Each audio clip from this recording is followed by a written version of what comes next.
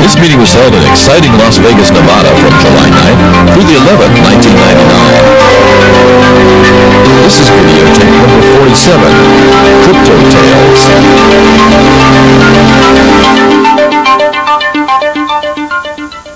Okay, so that's a bit loud, I think.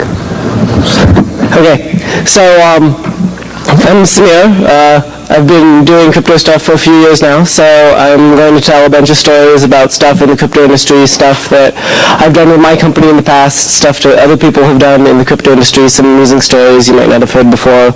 Um, if anyone has a specific story they'd like to hear that I might know, um, feel free to request a story because I might know the story and I could tell it, and so that could be fun. Um, so, I mean, to start off, does anyone have any specific requests to begin with, or should I just come up with my own list of stories to start with? Requests? Okay, so let me come up with a story. Oh, you do, okay. Okay, I don't know that story very well because I wasn't there, but I can tell that story. Um, so I can make it up too. so, so apparently, the story is this. It's not a very long story because I wasn't there. So Jim Bidzos is talking to some NSA people. And so this was actually a long time ago. This was probably in 92 or 93 or something like that. Long time ago in the grand scale of things, of course.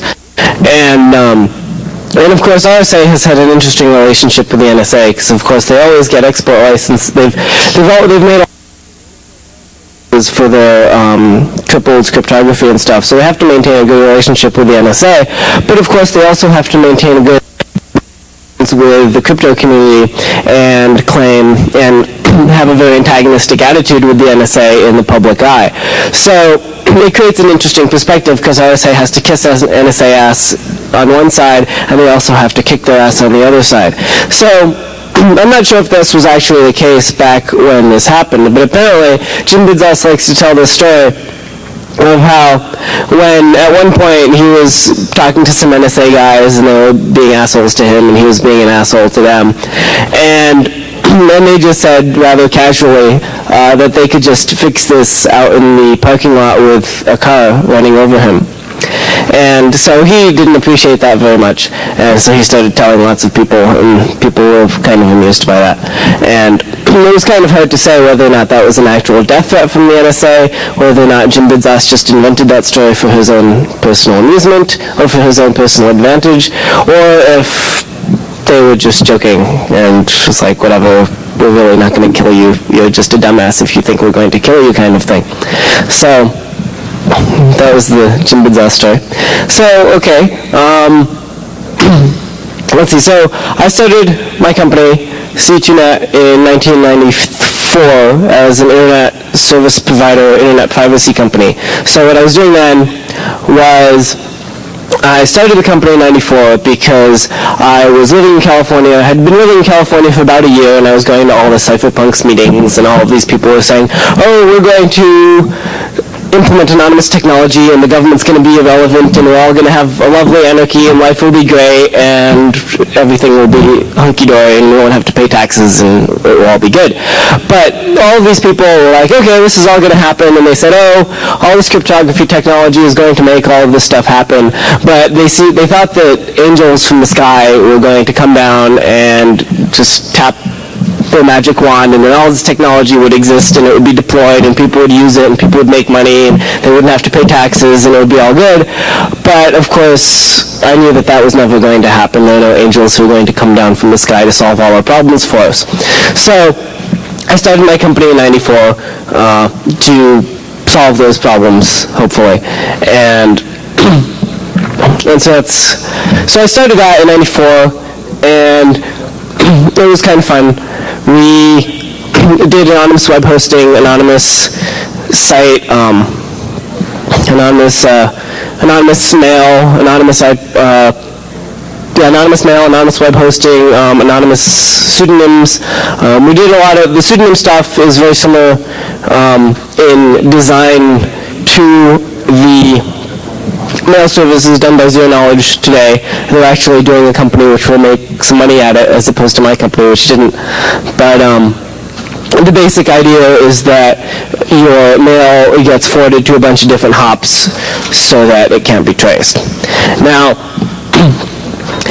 I built this system because the, the traditional anonymous servers, such as anon.penet.fi, were built with a very single point of failure in them. If you had an account at anon.penet.fi and say someone like the Scientologists wanted to find out who you were, all they had to do was go to Finland, spend lots of money on bribing the Finnish government or whatever you have to do in Finland to get your way, and then what they end up doing is getting access to your real identity because they use this, it's all, all of the actual sensitive information is actually stored in one place and all you have to do is break into the computer or subpoena the computer or whatever and you get all the sensitive information and that's not very safe.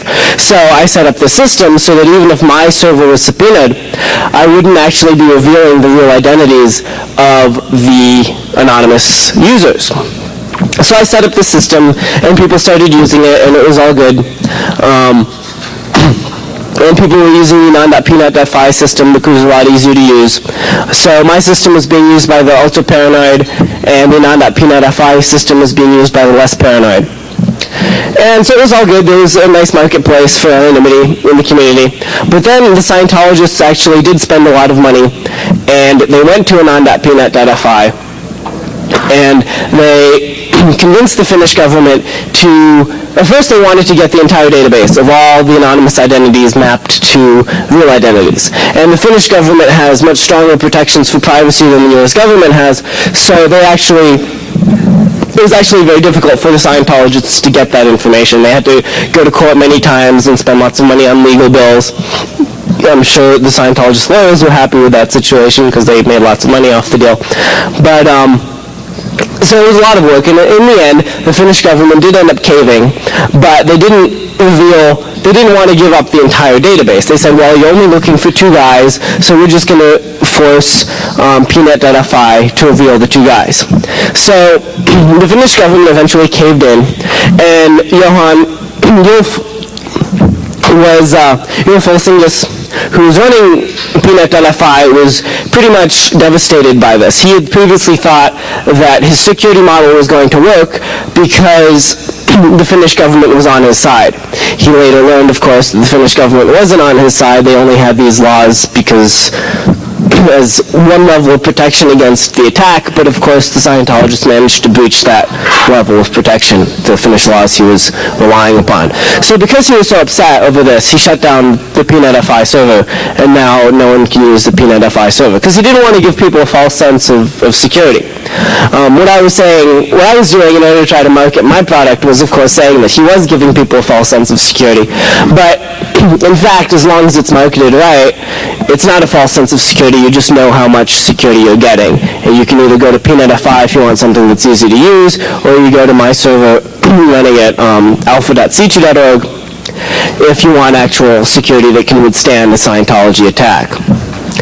So, so it was shut down. Everyone was upset. There was all sorts of clamoring. Oh no, it's being shut down. The Scientologists suck. We should kick their asses. You know, whatever. Um, Julf eventually got an EFF Pioneer Award, which was all good. We're all very proud of him for that. And um, and then uh, things things eventually slowly died down. My company changed focus, um, which I'll get to later. And but after about three years or so, according to Finnish law, the, uh, after three years, the records for an investigation need to be opened up. So the Finnish government released the records for the investigation, and the records included the real identities of the people the Scientologists spent a lot of money trying to get. And it turns out that the so-called real identities hidden by the penet.fi service were actually pointing at my pseudonymous server, which there would have been no way the Scientologists would have gotten at that. Uh, they could have tried to sue me. They, they never actually contacted me, so I figure they knew that they would have had no hope if they tried contacting me, because I actually probably wouldn't even needed a subpoena at that point, I would have just given them some ciphertext which they couldn't decrypt. And I probably would have asked for a subpoena because it would have cost them more money, and it's always good to make the Scientologists pay. So, so that's so that was pretty cool because we knew that the Scientologists spent huge amounts of money trying to get that information, and then they couldn't get it. so, I was another Scientology story. This one's kind of amusing. Um, it's not really crypto related, but it's still kind of cool. A friend of mine was working um, as like a network engineer at Erols Internet on the East Coast. And they had a customer the Scientologists didn't like. So they called them up. They called him up, and he was just the guy who answered the phone at the time because it's a small company. You know, you don't have they didn't have huge banks of tech support people answering the phone or anything like that back then. So, so anyway, he answers the phone. He says, you know, they say the Scientologists are like, oh, well, you have to talk to our legal department, and then they go to the legal department. The Scientologists eventually sue Erols Internet, and they, of course, name my friend as one of the plaintiffs in the lawsuit because he picked up the phone. And, and so anyway, whatever, they sue Erols Internet. The case gets dropped or whatever, they settle. I don't know exactly what happened. But then a few years later, my friend stops working for Internet. He's working for a company in San Francisco. He he's walking around San Francisco one day and he sees a Scientology store in San Francisco. He's like, ah, cool, I'm gonna go into the Scientology store and uh, see what see what I can do, like buy Dianetics or something silly like that. So he goes into the Scientology store and this guy, this person at the counter, she looks at him and she's like, hey, aren't you that ISP guy? And so then he gets really scared and he turns around and runs away. okay, so so let's see.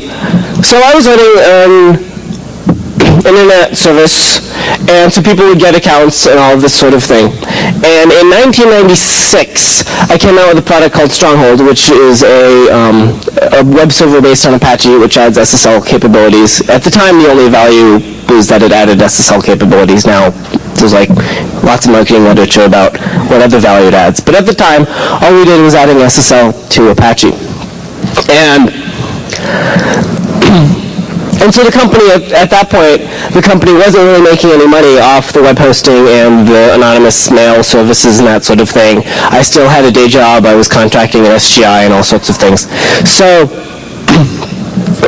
so I knew that the software business was going to make lots of money and the services business wasn't making lots of money. I would have had to invest heavily into that. The margins were low, all sorts of things like that. So I wanted, I, I was migrating off of that. And then November 1996 rolls around and I go to this conference in Florida, whatever. It was a pretty boring conference. But by the time I'm done with the conference, I'd gotten all these business leads. I was really hyped. I was really psyched about doing business. I had set up, by that point, offshore development centers all over the world. And I was thinking, well, what could the NSA do to shut me down?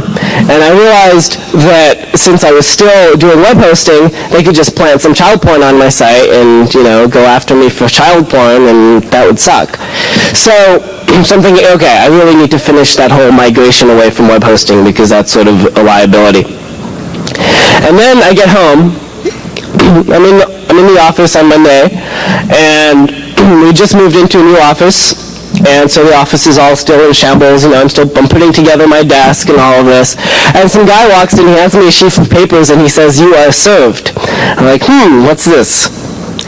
And turns out that we've been sued for contributory copyright infringement by Adobe Traveling Software and one other company whose, name escapes me. But anyway, they sued me for contributory, sued me and my company for contributory copyright infringement, which is not child porn, but it was based on the fact that we had some customers um, hosting web pages on our site that had allegedly um, material which the SPA, the Software Publishers Association, considered to be contributory copyright infringement. So those three things were serial numbers for wares, information about how to get, how to crack copy protection, and links to sites which host wares. They didn't actually claim that we had any wares on our site. They only claimed that we had links and information. So, and of course, the reason they had sued me, which I later learned, is that a few months prior to this, they had sent out an email to a large number of internet providers who apparently they knew had some sort of wares or links to wares or whatever on their site. And their email basically said, please give us a call and we will sue you. So I never got that email apparently. Maybe my mail server was flaky or whatever. I don't know what was going on. Um, but anyway, all the ISPs who did get that email, they all called up the SPA, and then the SPA's response was, sign this code of conduct and we won't sue you. And this code of conduct the SPA wanted people to sign was pretty heinous. And basically would required that the internet providers monitor everything every one of their users did. And at, at that point, the uh, various lawsuits had been resolved, which sh- showed that an ISP is not liable as long as they don't monitor and uh, moderate their traffic. So by moderate by monitoring traffic and agreeing to this code of conduct, ISPs were actually signing up for more liability than they had in the first place. So people actually, most of the providers who did, who received that comment from the SPA, please sign this code of conduct and we won't sue you, did decide to sign the code of conduct because they were afraid of the SPA. Two providers, GeoCities and Tripod, didn't sign. They were like, this is bogus, we're not going to sign this. And so they didn't sign. And I, of course, didn't sign because I had no clue that they wanted me to sign this stupid code of conduct. So GeoCities, Tripod, and C2Net all received this lawsuit. And it was very clear from their announcements, from their tactics, that the lawsuit was not meant in any way to actually go to court or actually be concerned with the fact that we had we allegedly had contributory copyright material on our sites. They just sued because they wanted us to settle, sign the code of conduct, and then they would drop the lawsuit. And so they, they dropped the lawsuit on GeoCities and Tripod, and GeoCities and Tripod both decided to settle. They um, were in the course of negotiating with investors and things along those lines, and they didn't want the investors to be afraid of the lawsuit and all that sort of thing. And so they negotiated with the SPA and settled by signing a code of conduct, which actually, which actually wasn't heinous.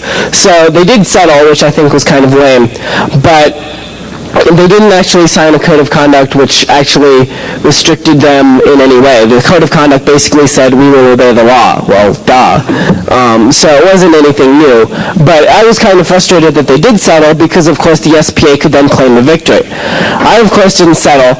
Um, the I had, uh, I called up my friend Mike Godwin at the EFF, and I was like, help, what do I do? And so he referred me to a very good attorney in San Francisco, and we told the SPA that they were smoking crack. Um,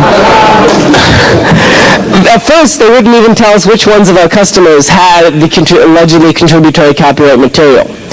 So, well, the first thing is that what they claimed was contributory copyright was in fact protected speech. So if they wanted to take this to court, and if we did in fact have what they claimed was on the site, we would have taken it to court and we would have won. But, and they probably knew this. But of course, they weren't interested in going to court. They were just interested in getting some press and having a bunch of people sign their stupid little code of conduct. So, so we, so it wasn't actually the SPA that sued us, of course, because the SPA itself is just a trade organization that has no standing. What the SPA does is they have a bunch of member organizations, and many of their member organizations sign over power of attorney to the SPA so that the SPA can sue other people on their behalf. So the fact was, Adobe and Traveling Software didn't even know that they had sued me. So we called up Adobe and we're like, why are you suing us? This is so anti-internet. And Adobe was all into this web publishing thing. So like, we're not anti-internet. We didn't know about this lawsuit. We avow all knowledge of this lawsuit. The SPA sucks. They didn't say that, you know, but, um, and we didn't actually get significant contacts at Traveling Software or the third company, which name I don't recall. Actually, they misspelled Traveling Software's name in the lawsuit, which I thought was pretty funny.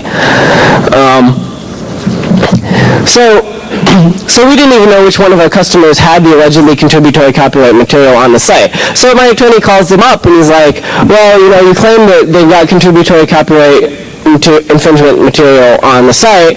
Why don't you tell us which customers? At first, they alleged that I and my company were actually engaged in contributory copyright infringement because that's actually what the lawsuit said. It didn't say that I was liable for the acts of my customers, which they implied, but which they meant to say. But they actually said I was doing contributory copyright infringement. So anyway, um, they I to give him a call and said, well, which one of these customers are doing the contributory copyright infringement? And the person, the, the attorney who actually sued me on this case was like, um, hmm, I don't know. Let me get back to you on that. So after much harassment, um, they eventually told us who it was. Were these two random customers of ours. And, um, and so then I went in to go look at their website. And all I found on those websites was the alt.binaries.warez FAQ. And so that was clearly protected speech. So we told them, you guys are on crack. This is all protected speech. Um, you guys need to drop the lawsuit. And then it was about, they'd sued us they filed for the lawsuit and served notice to me on one day, and I believe we had 21 days to file a response. And of course, filing a response would have been pretty expensive, and I didn't want to spend the money, so I didn't actually tell our attorney to actually start writing the response. So it was about five days before we had to file the response. And our attorney was just telling them, well, you know, you guys really need to drop the lawsuit because if I start working on filing the response and then we countersue you, you guys are going to be liable for my legal fees and it's not going to be cheap. So they dropped the lawsuit. Um, but they they dropped the lawsuit without prejudice, which basically means that they reserved the right to file it again. They claimed that they dropped the lawsuit because there was confusion over whether or not I had received that initial email not because they had no case and they were total dumbasses. But they claimed that, okay, we're dropping this lawsuit as a good faith measure, but we still want you to sign the code of conduct. And if you don't sign the code of conduct, we might file the lawsuit again. And I told them that they needed to apologize and re- recover my legal fees before I would even answer their telephone calls. And they didn't apologize, they didn't give me my legal fees back, and of course they didn't sue me again because they had no case. So it turned out after this uh, lovely adventure, I learned that of all of the SPA members, the only three SPA members that had given the SPA power of attorney were those three companies that had sued me. So I'm not intimate into the details of the SPA, but no, they didn't. They didn't apologize and they didn't give me any money. I would have preferred if I had to pick one or the other, the apology or the money, I would have picked the apology because it wasn't a whole lot of money, and I got a lot of press out of it, so I thought it was cool. Um, but I really thought that if because they didn't apologize, that other internet providers were at risk of them doing the same thing to them and that was just clearly a bad situation. So if they apologized and acknowledged the fact that what they did was wrong, that they sued me just because they wanted me to sign a code of conduct and it was just a total bullying tactic, then I thought, okay, these people maybe are seeing the light of day and I'll talk to them on a reasonable basis as a human to a human, as opposed to treating them like the scum they are. So, so anyway, that was the, uh, so I later learned that the only three companies that now that at that point had given the SPA power of attorney to sue were those three companies. So I guess they're sort of losing respectability within their customer base, which is a good thing. Um, because of course, software piracy isn't such a good thing. I've made a significant amount of money selling software and I don't like my software pirates. So um, the SPA not being the organization to protect against privacy is a good piracy is a good thing. It was kind of amusing because I was a privacy company, so I'd always say piracy, but I'd say privacy by mistake, and it would be all very confusing. So, anyway, that's the SPA story. Um, let's see, more stories. Fourth of July. What's the Fourth of July story? Oh yeah, okay, I'll tell that story. That story's kind of fun. So anyway, so I'm, um, this is 1997, and I'll, I'll tell the other, the, this is, I'll tell the earlier 97 media story first because it's kind of funny. So in May 96, um, early 97, I and a bunch of friends and a bunch of people from, from C2, we would always go to a, um, a breakfast brunch Thai at the Thai Temple in Berkeley every Sunday morning.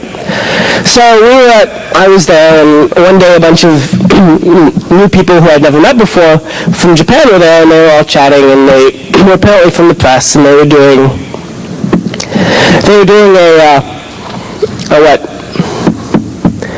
A documentary on, on cryptography. So I was like, okay, cool, I got the name and all of this stuff. And then they went back to Japan, did some more research, came back, and then they decided they wanted to cover C2net and PGP. So they allocated two weeks to cover PGP and two weeks to cover C2net. And the first two weeks they allocated was the first two weeks of February, and that was PGP, so they covered PGP during that time. And then the second two weeks was the um, was they were covering C2net. But we told them, well, if you're covering us, that's not going to work so well because the first week is fine because we're going to be in the office and you can film us and whatever, we can take interviews and all this. But the next week, we're going to a conference in Anguilla. And Anguilla is a small island three miles from St. Martin in the Eastern Caribbean. Uh, it takes 15 hours to get there. You have to take a small little plane to get there. There's only about 8,000 people who live there. They have no taxes. Um, we were going to a conference there. And so we told them, well, you know, it would be great if you film this and all, but we're going to this conference. So they call back to the home office. They're like, can we go to Anguilla? The home office says yes. so they fly to Anguilla before we do. But I didn't know this.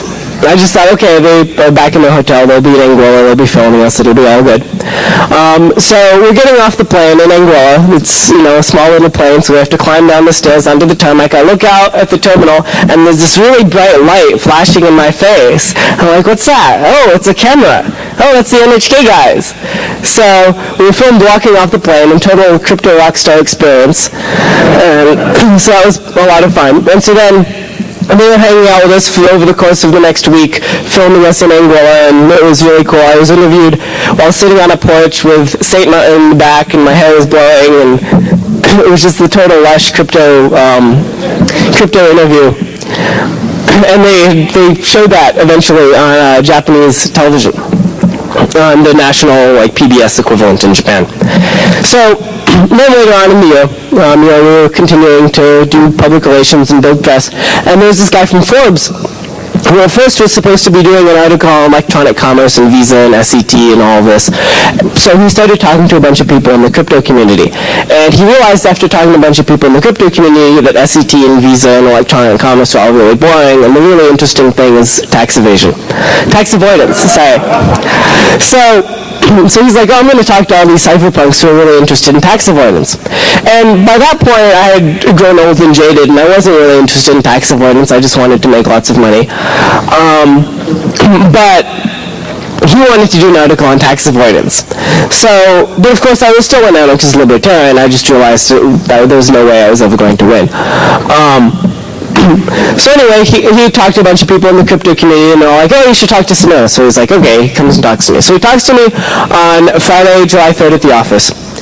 And we chat, and we have a good time. We talk for like two, three hours or something like that, and it's time to go home because I have like a meeting or whatever. And so he's like, oh, I still need to talk to you some more. Can we talk tomorrow? So we get together in a cafe in Berkeley, and something to. It's July 4th. Cool. It's a holiday. So anyway, so we go, we meet in this cafe, and we're sitting down. I'm like, oh, I like this holiday. You get to celebrate overthrowing the government. And I thought, okay. So he, he interviewed me, and it was all good. And then a few weeks later, um, actually, a week, yeah, a few weeks later, um, a photographer came and he took my picture. He took pictures of other cypherpunks, and you know, it was all good. Um, and then I got an email from from him sometime in early September or late August, saying the final issues of um, the, the, magazine, the first pressing is off the press or whatever. I'm sending it to you by next day mail. I think you'll get a kick out of it. So he sent it to me on Friday. I was actually in the office on Saturday because I was working on some web pages or whatever. And I show up at the office.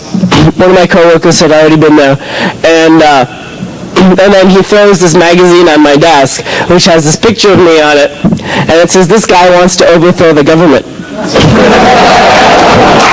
so, I'm thinking, wow, that's wild.